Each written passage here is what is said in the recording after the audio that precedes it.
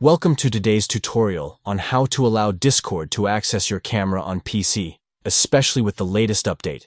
If you're ready to jump into video calls, let's get started. First, open your preferred web browser and go to the Discord website. Make sure you're logged into your account.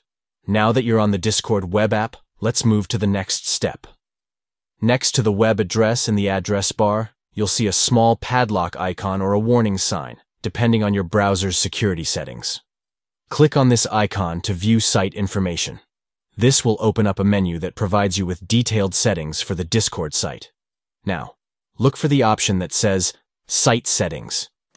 Click on it to dive deeper into the permissions for Discord. Here, you'll find various options that determine what privileges Discord has while you use it. Under the Permissions section, focus on the camera setting.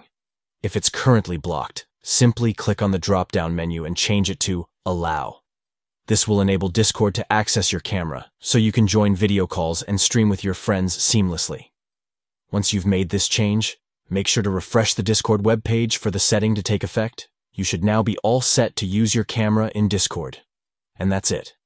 You've successfully allowed Discord to access your camera on PC with the latest update. Enjoy your video chats and don't forget to subscribe for more tech tips.